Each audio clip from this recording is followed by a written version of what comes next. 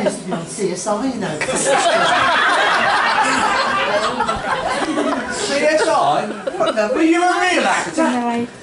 Yeah. My name's Tarquin. You know I'm a thespian? I've just finished in that Ming Mongrel of the Minchel or something like that. Done a tour in USA. USA? Yeah, Urmston, Stretford and Altrincham.